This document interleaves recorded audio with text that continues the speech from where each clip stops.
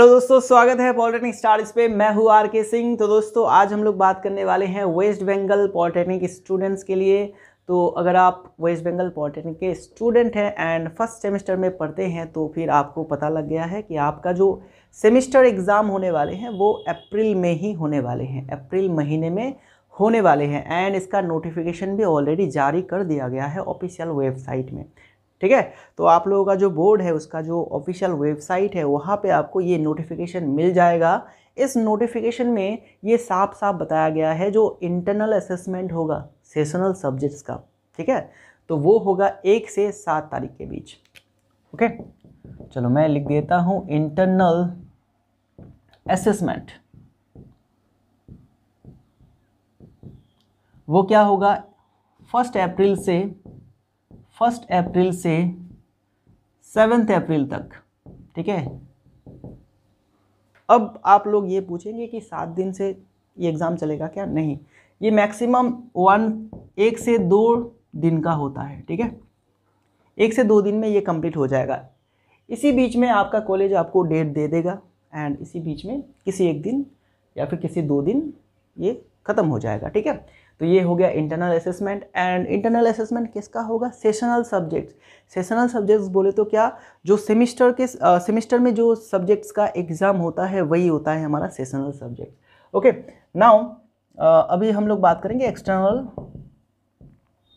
External assessment के बारे में. वो होगा आपका एट अप्रैल से जैसे कि नोटिस में बताया गया है एट अप्रैल से एटीन अप्रैल तक, ठीक है? एंड ये एग्ज़ाम भी मैक्सिमम वन से दो दिन चलेगा, ठीक है? दो दिन में आपके सारे सब्जेक्ट्स का एग्ज़ाम ख़त्म हो जाएगा। तो इसी इन दिनों के बीच में किसी एक दिन आपको डेट दिया जाएगा, ठीक है? एंड जनरली हमारे वक्त क्या होता था कि एक ही दिन में सारे सब्जेक्ट्स का एक्सटर्नल लिया जाता था। एंड इंटरनल भी वैसा ही होता था।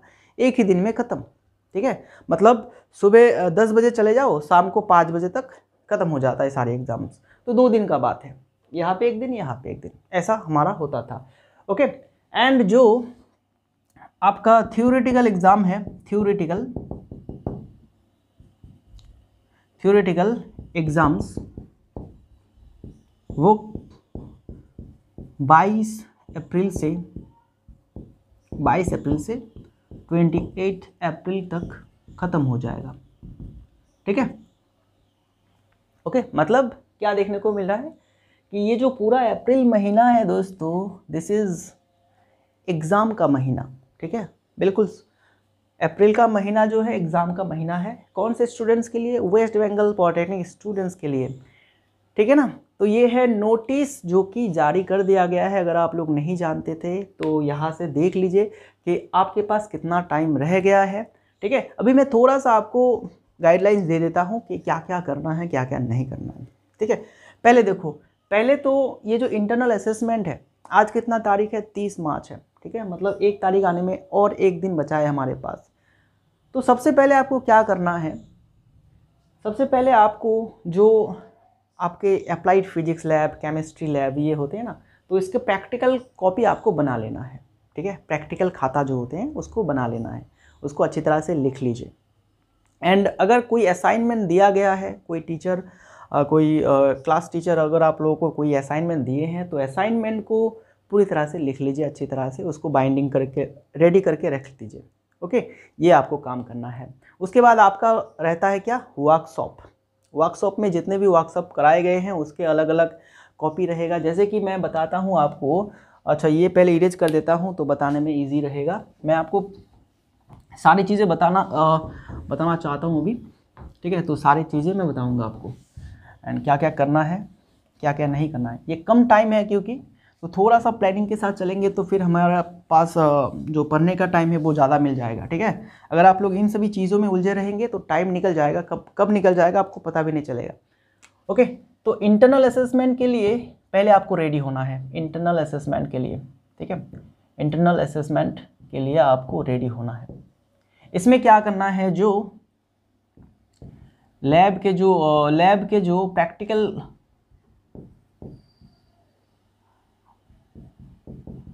प्रैक्टिकल नोटबुक जो है, वो आपको लिख के रेडी करना है, ठीक है?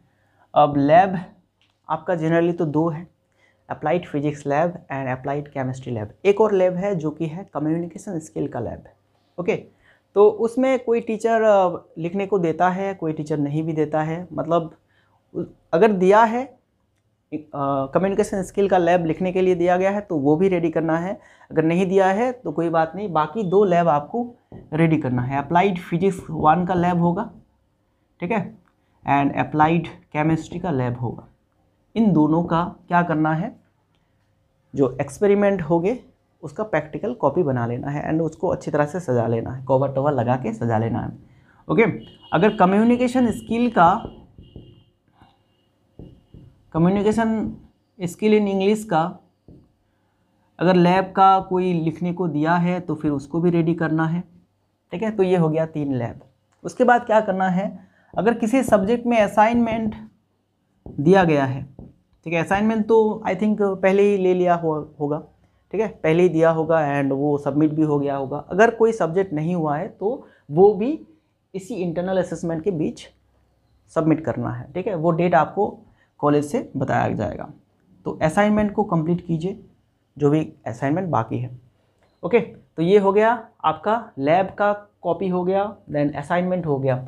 उसके बाद आपका आता है वर्कशॉप वर्कशॉप का कॉपी आपको बनाना है वर्कशॉप का प्रैक्टिकल कॉपी आपको बनाना है, ठीक है? तो वर्कशॉप में क्या क्या आता है? जैसे कि आता है आपका करपेंट्री मतलब वुड शॉप ठीक है? वुड शॉप जहाँ पे लकड़ी का काम सिखाया जाता है, ठीक है ना? ये एक किया जाएगा। दूसरा होता है इलेक्ट्रिकल शॉप इलेक्ट्रिकल शॉप जहाँ पे आपको आई थिंक इलेक्ट्रिकल के जो इंस्ट्रूमेंट यूज़ होते हैं, जो टूल्स यूज़ होते हैं, उसके बारे में बताया जाएगा। And calling bell connection double switch connection ये सभी कराया गया होगा। ओके तो इसका भी कॉपी आपको बनाना है, ठीक है? तीसरा होगा welding shop welding shop okay चौथा आपको ये मेसिन शॉप दिया जाएगा। मेसिन शॉप जिसको आपको करना है, अगर कराया गया है तो फिर करना है, अगर नहीं कराया गया है तो कोई बात नहीं।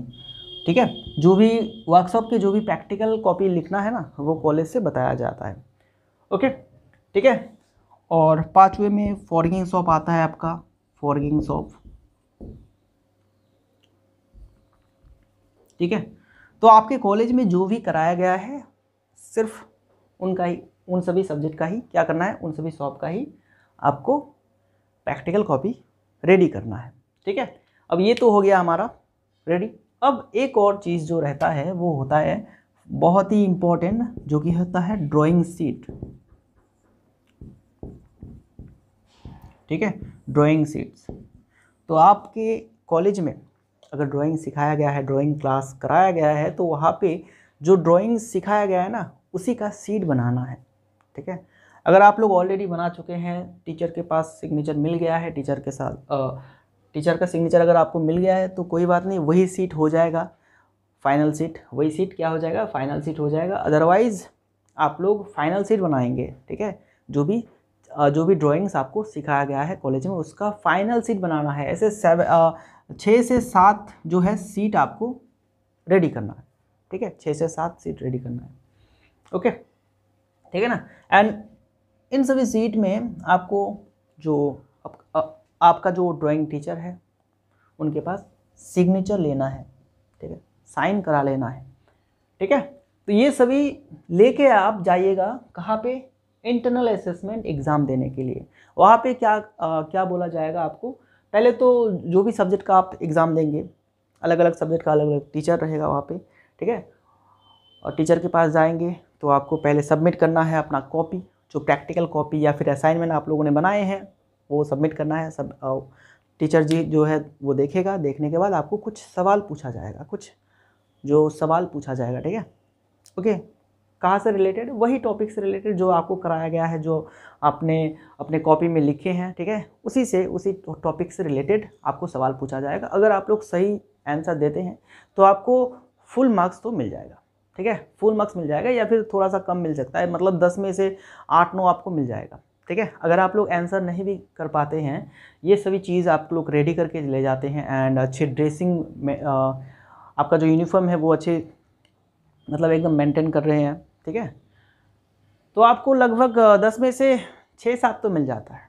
अगर कोई सवाल आप लोग सवाल का जवाब अगर आप लोग ना भी दें तो भी आपको छः सात मिल जाता है। वो अटेंडेंस के लिए, आपके कॉपी के लिए असाइनमेंट्स के लिए वो नंबर होता है अलग अलग ओके ठीक है? तो ये हो गया हमारा इंटरनल असेसमेंट इंटरनल असेसमेंट के लिए ये सभी रेडी करना है। अब बात करेंगे हम लोग एक्सटर्नल असेसमेंट के बारे में। एक्सटर्नल असेसमेंट क्या होता है? एक्सटर्नल असेसमेंट में असेसमेंट में आपका होता है क्या कि दूसरे कॉलेज के टीचर लोग आएँगे। वे, यही वाला एग्ज़ाम दूसरे टीचर लोग लेंगे। इंटरनल असेसमेंट में क्या? खुद के कॉलेज के टीचर ले रहे हैं एग्ज़ाम एंड एक्सटर्नल असेसमेंट में दूसरे कॉलेज के लेक्चरर आएँगे एंड आपका एग्ज़ाम लिया जाएगा। ठीक है? बाकी बिल्कुल प्रोसेस जो है बिल्कुल सेम रहेगा। ओके ठीक है? तो ये हो गया हमारा external assessment and internal assessment तो ये सारी चीज़ें आपको रेडी करना है, ठीक है? तो टाइम के अंदर इसको कर लीजिए, वरना फिर, अगर नहीं कर पाए टाइम के अंदर तो फिर नंबर जो है वो कट हो जाएगा। ओके क्योंकि इन सभी चीज़ों में ना बहुत सारे नंबर है। इंजीनियरिंग या फिर पॉलिटेक्निक की अगर बात करूँ तो पॉलिटेक्निक में ये सभी चीज़ें जो है मेंटेन करना बहुत ज़रूरी है दोस्तों। प्रैक्टिकल्स वर्कशॉप ठीक है, जो भी लैब्स होते हैं, जो भी असाइनमेंट होते हैं, वो अगर सही से सही टाइम पे करेंगे ना तो आपका मार्क जो है अच्छा रहता है। अगर ये सभी चीज़ों में आप लोग गैप देंगे या फिर क्या करेंगे बोलो? इसको सही से नहीं करेंगे, सही ढंग से आप लोग सही टाइम से सबमिट नहीं करेंगे।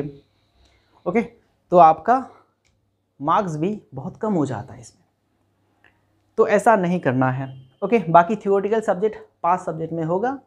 एक तो फिजिक्स केमिस्ट्री मैथमेटिक्स एंड आता है आपका communication skill in English okay then आता है ड्राइंग तो ड्राइंग एग्ज़ाम कैसा होता है? ड्राइंग एग्ज़ाम में जो क्वेश्चंस आपको दिया जाएगा, जो क्वेश्चन दिया जाएगा ड्राइंग एग्ज़ाम में, वहाँ पे कुछ ऑब्जेक्टिव क्वेश्चन रहेगा, ठीक है? जैसे कि 20 मार्क का ऑब्जेक्टिव क्वेश्चन रहेगा 20 मार्क का एमसीक्यू रहेगा, उसमें से आपको 20 करना है, ठीक है? 20 के 20 एम करना है।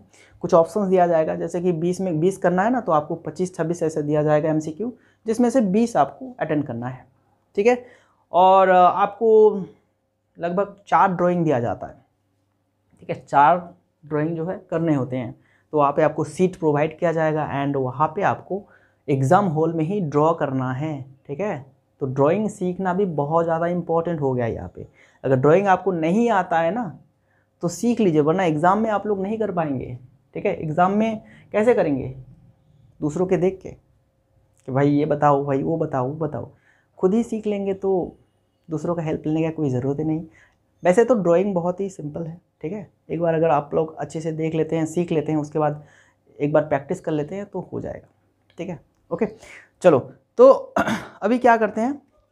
अभी मैं इस वीडियो को जिसलिए बनाया था कि आप लोगों ने कहा था कि, सर, एग्ज़ाम बहुत करीब है तो थोड़ा सा कुछ क्वेश्चन हमें बता दीजिए, ताकि हम लोग प्रिपेयर कर पाए। तो उसी के लिए ये वीडियो शूट हुआ है।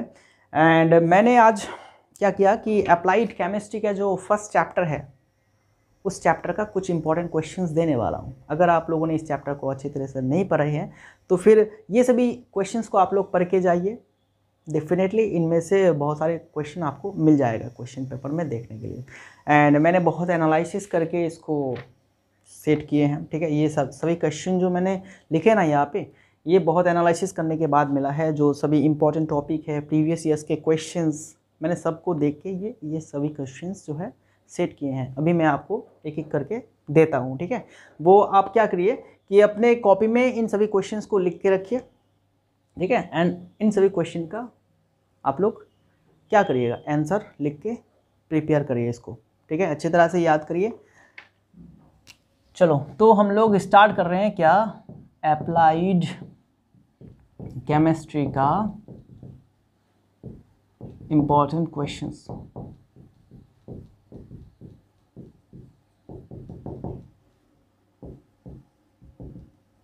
ठीक है? अप्लाइड केमिस्ट्री का इंपॉर्टेंट क्वेश्चन सीरीज़ तो आज हम लोग बात करेंगे चैप्टर वन पे। चैप्टर वन चैप्टर वन क्या है? Atomic structure okay atomic structure से कुछ इंपॉर्टेंट क्वेश्चंस की बात करेंगे। तो सबसे पहला क्या है? डिफाइन एटम एटम क्या होता है? एंड उसके साथ what are the fundamental particles of an atom ठीक है? एक एटम के अंदर क्या क्या फंडामेंटल पार्टिकल रहता है? ओके ठीक है ना? तो हम लोग जानते हैं तीन फंडामेंटल पार्टिकल रहते हैं. Electron proton and neutron. तीनों के प्रॉपर्टी आपको जानना है कि इलेक्ट्रॉन का चार्ज क्या है, प्रोटॉन का चार्ज क्या है, न्यूट्रॉन का चार्ज क्या है। इन सभी का मास याद रखना है, किसने डिस्कवर किया? बस। ये सभी चीज़ें शॉर्ट क्वेश्चन के लिए आपको याद रखना है। ओके तो दूसरा दूसरा क्वेश्चन देखो। एक्सप्लेन रदरफोर्ड्स एटॉमिक मॉडल अभी ये जो रदर रदरफोर्ड जी का एटॉमिक मॉडल है, ये आपको याद रखना है। Rutherford's atomic model. बेसिकली ये कम ही बार पूछा गया है, लेकिन पूछा गया है। प्रीवियस ईयर में भी पूछा गया है। ठीक है? Explain Rutherford's atomic model okay ये हो गया। तीन मार्क का सवाल। इसमें आपको रदरफोर्ड जी ने जो एक्सपेरिमेंट करा है, उसके बाद जो कंक्लूशन हमें मिला है, ठीक है ना? जो उसने जो मॉडल दिए हैं हमें, उसके बारे में बात करना है। ठीक है? चलो। एंड तीसरा क्वेश्चन चले आते हैं। Write the limitations of Rutherford's atomic model ठीक है? तो रदरफोर्ड जी के जो एटॉमिक मॉडल है, वो पूरी तरह से सक्सेस नहीं हो पाया था, कुछ कमियाँ रह गया था। ठीक है? वो सभी कमियाँ क्या है? ठीक है? कहाँ पे रदरफोर्ड जी का एटॉमिक मॉडल फेल हुआ था? उसके बारे में लिखना है। ठीक है? मैक्सिमम यहाँ पे मार्क पूछा जाएगा दो या फिर तीन, ठीक है? ये भी दो या फिर तीन का पूछा जाएगा। अगर तीन पूछा जाता है तो थोड़ा सा हम लोग ज़्यादा लिखेंगे। अगर दो पूछा जाता है तो हम लोग उसको दो पॉइंट या फिर तीन पॉइंट दे के छोड़ सकते हैं। ओके बाकी हो गया चार नंबर क्वेश्चन चार नंबर क्वेश्चन में हम लोग बात करेंगे अभी बोर्स मॉडल के बारे में। बोर्स एटॉमिक मॉडल के बारे में। States the postulates of Bohr's atomic model ठीक है? एंड यहाँ पे तीन मार्क का ये सवाल रहेगा। तीन मार्क का सवाल। ठीक है दोस्तों? चलो, पांचवा क्वेश्चन पांचवा क्वेश्चन अब ये बोर्ड जी का एटॉमिक मॉडल आ गया। बोर्ड जी का एटॉमिक मॉडल भी सक्सेस नहीं हो पाया था तो क्या वो कमियाँ रह गया था? वो भी तो पूछा जाता है। ठीक है? What are the what are the drawbacks of Bohr's atomic model okay ये भी दो या फिर तीन मार्क का सवाल हो सकता है। ठीक है? तो आप लोग तीन मान के चलिए। तो तीन आपको लिखना है, तीन ड्रॉबैक लिखना है। अभी देखो, जो ड्रॉबैक है एंड जो लिमिटेशन है, वो सेम चीज़ है। ठीक है? ड्रॉबैक लिमिटेशन आपको जो भी यहाँ पे दिया जाए क्वेश्चन में, आपको समझ लेना है कि हमें यहाँ पे क्या लिखना है। ठीक है ना? चलो ओके तो now let's go to the next question that is derive Heisenberg's uncertainty principle. Derive Heisenberg's uncertainty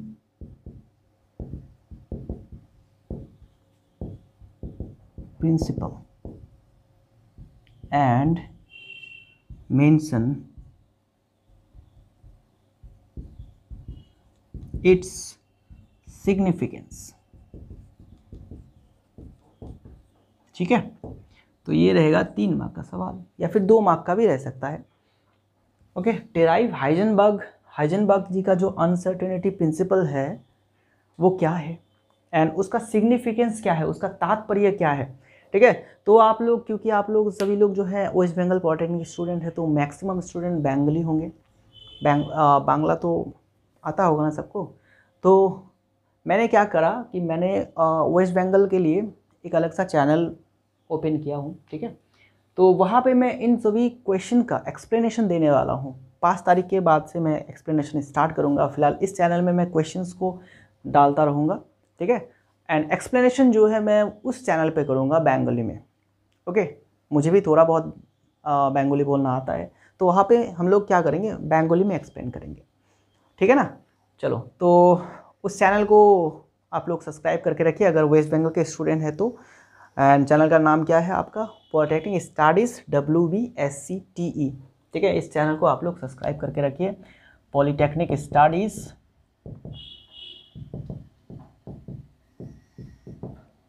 studies W B S C T and जो लोगो है वो सेम लोगो है, ठीक है? तो ये चैनल को आप लोग सर्च करिए एंड इसको सब्सक्राइब करके रखिए। पाँच तारीख के बाद हम लोग यहाँ पे इस चैनल पे जो इम्पोर्टेंट क्वेश्चन का सीरीज़ रहेगा, उसका एक्सप्लेनेशन करेंगे, ठीक है ना? बाकी आप लोग जो है अपना काम करते रहिए। आपका काम क्या है अभी? अभी जो मैंने अभी भी बताया आप लोगों को, वो सभी चीज़ें आपको रेडी करना है टाइम के अंदर। एंड रेडी हो जाने के बाद आपको अपना जो पढ़ाई है, वो कंटिन्यू रखना है, क्योंकि एग्ज़ाम बहुत नज़दीक है। अगर थोड़ा सा भी गलती हो जाए ना थोड़ा सा भी टाइम अगर हाथ से निकल जाए ना तो वो कभी वापस नहीं आएगा। एंड आप लोग फिर एग्ज़ाम हॉल में जाके अफसोस करेंगे कि भाई थोड़ा सा पढ़ लेता तो शायद हो जाता। सर ने ऐसा कहा था इंपॉर्टेंट क्वेश्चन दिया था। अगर इन सभी क्वेश्चन को अच्छी तरह से देख लेते तो आई थिंक आज हम लोग अफसोस नहीं करते। अच्छा एग्ज़ाम देते। ठीक है? तो बिल्कुल, आप लोग अपना पढ़ाई जो है कंटिन्यू रखिए। Question number seven question number seven है what is de Broglie's equation what is what is de Broglie's equation de Broglie ji का इक्वेशन क्या है? ठीक है? ये रहेगा दो मार्क का। डी ब्रोगली जी ने क्या बताए हैं? एंड जो इक्वेशन उन्होंने दिए हैं ना, ठीक है, उसका हमें यहाँ पे लिखना है, उसको लिखना है। ओके? चलो, ये सात क्वेश्चन हो गया। सात क्वेश्चन के बाद मैं थोड़ा सा जो है, एक क्वेश्चन और हो जाएगा यहाँ पे।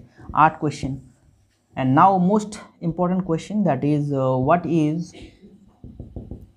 what what is नहीं what are the what are the differences between between orbit and orbitals तो ऑर्बिट एंड ऑर्बिटल्स के बारे में पढ़ना है। ठीक है? ये तीन मार्क का सवाल है। एंड उसका डिफरेंस पढ़ना है। तो देखो, ये सातों क्वेश्चन में से अगर मैं बताऊँ, अगर मैं इसका रैंकिंग करूँ तो this is the most important question इसका मैं फाइव स्टार देता हूँ इसको। ठीक है? लिमिटेशन को थ्री स्टार देता हूँ। हाइजनबर्ग को टू स्टार देता हूँ। ओके ये इसको वन स्टार देता हूँ and this is again five star question ठीक है?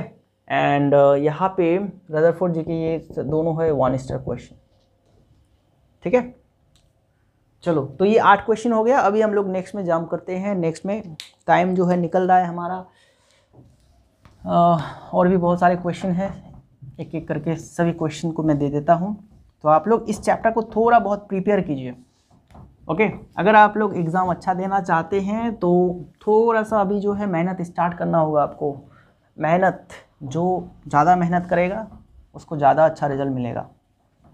ठीक है? सक्सेस का जो की है, वो क्या है? बोलो हार्ड वर्क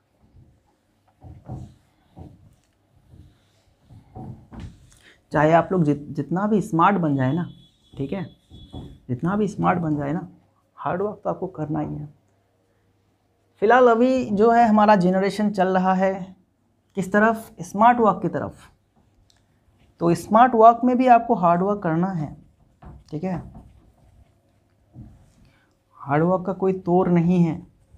अभी तक कोई तोड़ नहीं निकला है। चाहे आप कितना भी टैलेंटेड हो, आप अगर मेहनत नहीं करेंगे तो आप पीछे रह जाएँगे, क्योंकि मेहनत करने वाला आगे निकल जाएगा आपसे। वो कंटिन्यूसली मेहनत कर रहा है। कोई बंदा जो है, वो मान लेते हैं एवरेज स्टूडेंट है। वो कंटिन्यूसली मेहनत कर रहा है। एंड जो टैलेंटेड बंदा है, वो आलसी करके, वो ऐसे सो सो के इधर उधर घूम के, अपना टाइम जो है, क्या कर रहा है? लॉस कर रहा है। तो देखो, अब जो बच्चा, जो स्टूडेंट कंटिन्यूसली मेहनत कर रहा है, उसको तो कुछ रिज़ल्ट मिलेगा ना। एंड ये तो आलसी हो गया हमारा। टैलेंट है इसके पास, लेकिन एक ऐसा टाइम आ जाएगा कि पढ़ने का भी इसको टाइम नहीं मिलेगा। ठीक है? मतलब कल पढ़ेंगे कल पढ़ेंगे कल पढ़ेंगे। चलो कल से स्टार्ट करते हैं, कल से स्टार्ट करते हैं। तो ऐसे करते करते करते करते उसका जो है टाइम निकल जाएगा। ठीक है? आखिर में एक दिन बचेगा, एक दिन में पूरा किताब क्या पढ़ सकता है क्या? नहीं। ठीक है? एंड जो बच्चा एक महीने से पढ़ रहा है, उसको तो कुछ रिटर्न में मिलेगा ना, वो जो मेहनत कर रहा है। तो ये बात को ध्यान पे रखिए। ठीक है? चाहे आप जितना भी टैलेंटेड हो, थोड़ा सा मेहनत करना है, ठीक है? चलो नाइन्थ क्वेश्चन पे चले आते हैं। नाइन नंबर क्वेश्चन क्या है? Write down the names and symbol of quantum number अच्छा यहाँ पे मैं इसको सिंपली लिख दे रहा हूँ। What what is quantum number what is quantum number quantum numbers what is quantum numbers quantum number क्या है? write sorry write their symbol their name and symbol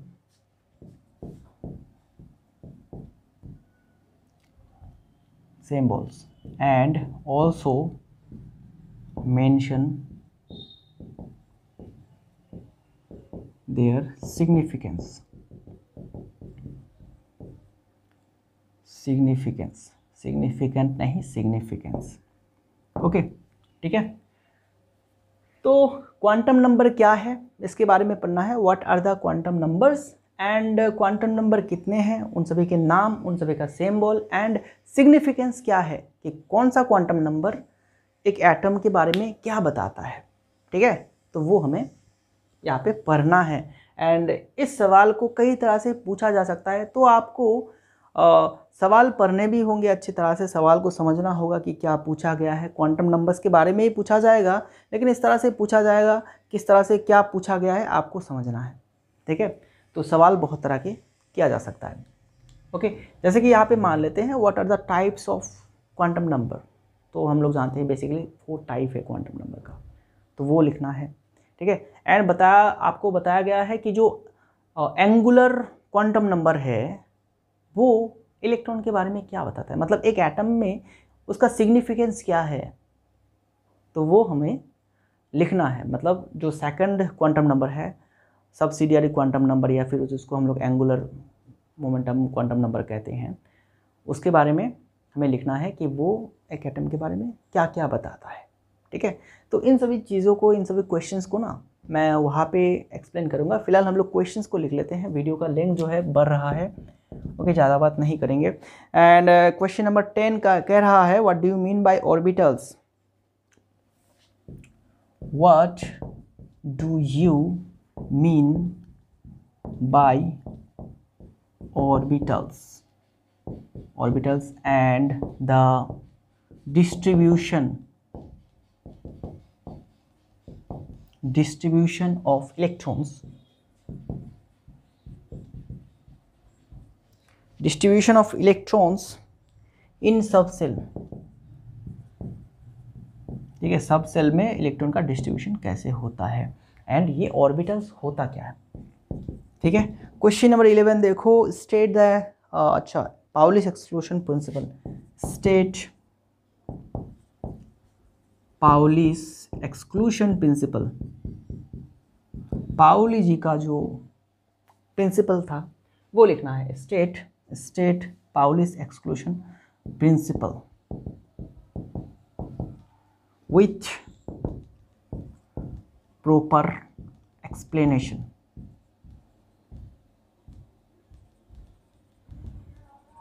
ठीक है? प्रॉपर एक्सप्लेनेशन मतलब यहाँ पे कुछ इस तरह से पूछा जाएगा अगर आपको सिंपली ये पूछा गया है कि पाउलिस एक्सक्लूशन प्रिंसिपल को लिखो, ठीक है? तो आपको पाउली जी का जो एक्सक्लूशन प्रिंसिपल है, वो तो लिखना ही है, उसके साथ आपको एग्ज़ाम्पल भी देना है एंड उसको एक्सप्लेन भी करना है। This is the smart answer ठीक है? ओके अगर कोई प्रिंसिपल पूछा जाता है ना तो डायरेक्ट आप लोग प्रिंसिपल ना लिखें। प्रिंसिपल लिखने के साथ साथ उसका एग्ज़ाम्पल भी आप लोग दे दिए, दे दिया करें तो बेहतर रहेगा आपके लिए, ठीक है? इससे एग्जामिनर जो है इम्प्रेस हो जाते हैं। तो आपको ऐसा ही करना है। ये है स्मार्ट आंसर स्मार्ट आंसर देने की तरीका। आपको प्रिंसिपल भी लिखना है एग्ज़ाम्पल भी देना है, उसका सिंपली आपको एक्सप्लेनेशन भी कर देना है। बस टाइम तो उतना ज़्यादा नहीं लगता है ना। क्योंकि देखो सिक्सटी मार्क का एग्ज़ाम है आपका, ठीक है?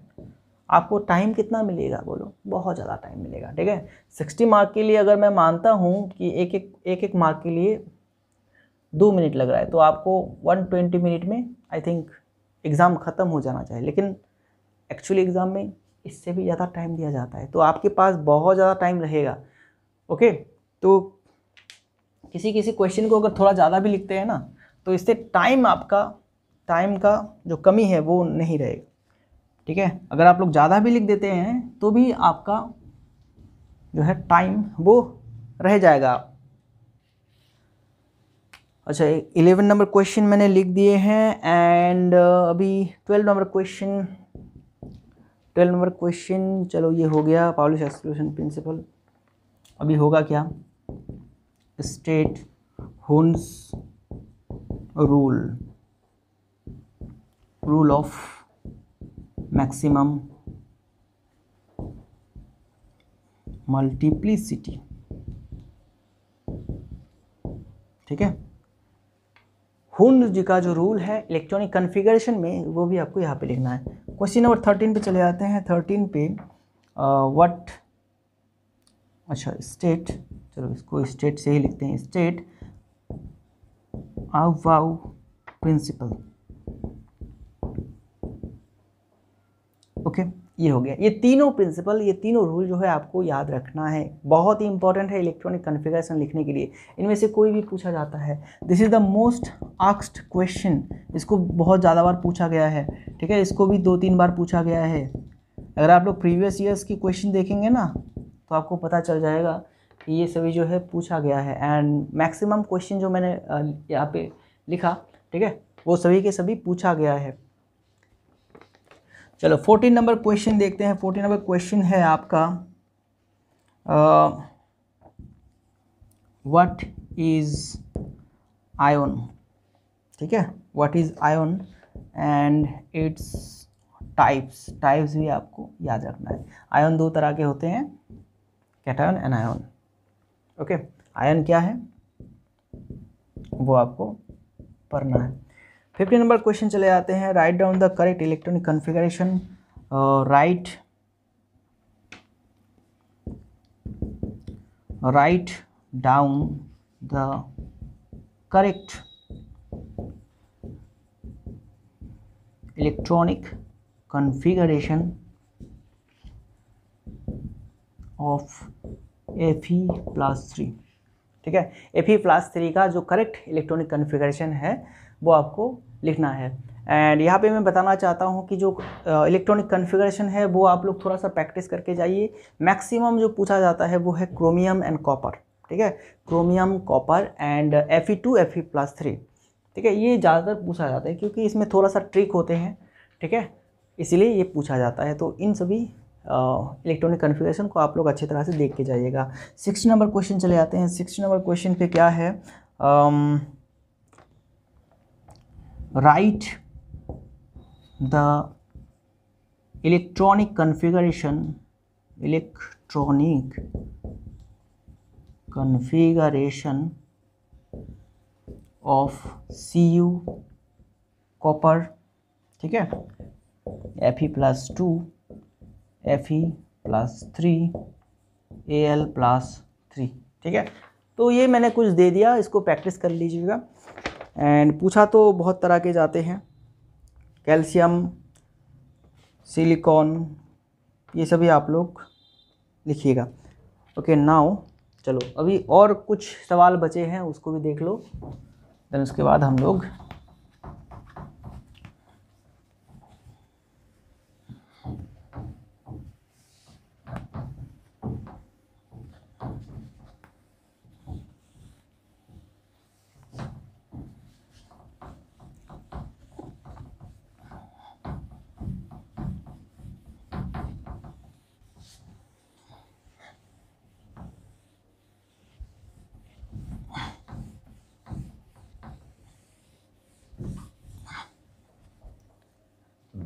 अच्छा। तो अगला क्वेश्चन क्या है? आई थिंक नाइनटीन नंबर होगा ये।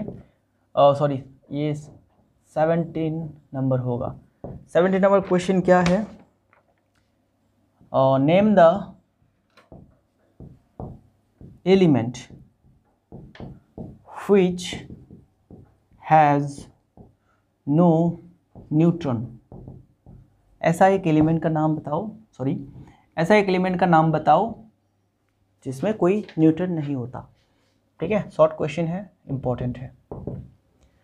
18 नंबर क्वेश्चन 18 नंबर क्वेश्चन क्या है? Name the element which has no electron. 19 number question, चले जाते हैं, which is more stable,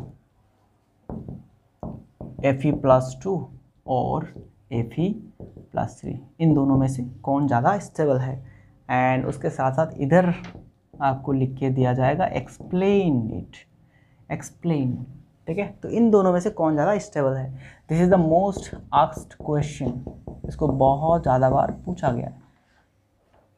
Okay now twenty number question what is isotope what is isotope what is isotopes okay and give example isotope क्या है? And इसका example दो। 21 number question what are the uses of isotopes? Isotope के uses क्या क्या है? ठीक है कुछ आइसोटोप्स है जो कि बहुत आ, सारे कामों के लिए लगता है। जैसे कि एग्जांपल देता हूँ कार्बन 14 कार्बन 14 का जो आइसोटोप है ठीक है जो ये सी आ, ये आपका 14 वाला जो कर्व आता है सॉरी इधर ये सिक्स रहेगा इधर 14 रहेगा तो this is the isotope carbon का आइसोटोप है। इस आइसोटोप को हम लोग रेडियो कार्बन डेटिंग के लिए इस्तेमाल करते हैं। रेडियो कार्बन डेटिंग क्या है? अगर आप लोग पूछेंगे तो इसका सवाल इसका जवाब क्या है? कि रेडियो कार्बन डेटिंग में हम लोग पुराने चीज़ों का जो, उसका जो एज है, वो निकालते हैं कि ये कितना दिन पुराना है, ये सारी चीज़ें कितना दिन पुराना है तो वो हम लोग रेडियो कार्बन डेटिंग से पता करते हैं। तो उस पर्पज़ के लिए यूज़ होता है। एंड कुछ ऐसे आइसोटोप्स होते हैं जो कि मेडिकल में कैंसर ट्रीटमेंट करने के लिए, ट्यूमर ट्रीटमेंट करने के लिए भी यूज़ किया जाता है। ओके? तो आपको कुछ यूजेस देख के रखना है। नाउ और आपको इधर आइसोटोन आइसोटोन आइसोबार आइसोबार ठीक है? आइसो इलेक्ट्रॉन तो ये सभी के बारे में थोड़ा बहुत जानकारी चाहिए। एंड और आप लोग क्या कर सकते हैं कि जो मास नंबर एटॉमिक नंबर से इलेक्ट्रॉन नंबर कैसे निकाला जाता है जैसे कि हम लोग जानते हैं मास नंबर इजिकल टू क्या होता है? मास नंबर इजिकल टू क्या होता है? प्रोटन प्लस न्यूटन, ठीक है? प्रोटन प्लस न्यूटन होता है। एंड हम लोग जानते हैं प्रोटन इजिकल टू किसी एक स्टेबल एलिमेंट, ग्राउंड स्टेट में कोई भी एक एलिमेंट का प्रोटन इजिकल टू इलेक्ट्रॉन होता है, ठीक है? तो आपको इन फॉर्मूला से ये पूछा जाएगा कि अगर एक एलिमेंट का, अगर एक एलिमेंट का एटॉमिक नंबर ये है ठीक है कुछ एक बताया गया है ये है। एंड मास नंबर ये है तो कितने इलेक्ट्रॉन प्रेजेंट है कितने न्यूट्रॉन प्रेजेंट है ऐसे आपको पूछा जा सकता है। ओके ठीक है ना? तो ये भी आप लोग थोड़ा सा देख के रखिए। बस ये कुछ इंपॉर्टेंट क्वेश्चन हो गया हमारा पहले चैप्टर से। एंड इन सभी क्वेश्चन को अच्छी तरह से प्रिपेयर कीजिए। आई होप uh, बहुत सारे जो क्वेश्चन है दो तीन क्वेश्चन जो है डेफिनेटली इस चैप्टर से जो भी पूछे जाते हैं इन क्वेश्चन में ही पूछा जाएगा। ओके ठीक है? एंड अगला वीडियो में हम लोग नेक्स्ट चैप्टर को डिस्कस करेंगे। उसके बाद नेक्स्ट चैप्टर ऐसे सारे चैप्टर्स को हम लोग डिस्कस करने वाले हैं। ओके तो दोस्तों, अपना पढ़ाई बिल्कुल करते रहो। एग्ज़ाम बहुत करीब आ चुका है। एंड मैंने जो पहले बताया ना आपको, वो सभी चीज़ें, वो सभी चीज़ें फटाफट से रेडी करो। मतलब आपके पास ज़्यादा टाइम तो है ही नहीं। ठीक है, एक से दो दिन है बस। आज अगर स्टार्ट करते हैं तो कल परसों के अंदर वो कंप्लीट हो जाना चाहिए। क्योंकि इंटरनल असेसमेंट का जो, ये जो इंटरनल असेसमेंट है, उसका डेट कभी भी दे सकता है आपका कॉलेज ठीक है? ऐसा भी हो सकता है कि दो तारीख दे दिया, एक तारीख दे दिया, ऐसा भी हो सकता है। तो आपको ऑलवेज प्रिपेयर रहना है। सारे प्रैक्टिकल कॉपी सारे लैब के कॉपी सारे वर्कशॉप के कॉपी ड्राइंग सीट सभी के सभी बिल्कुल रेडी करके रखिए। ओके ठीक है ना? चलो, मिलते हैं नेक्स्ट वीडियो में। तब तक के लिए अपना ख्याल रखना एंड पढ़ाई बराबर करते रहना। Okay thank you very much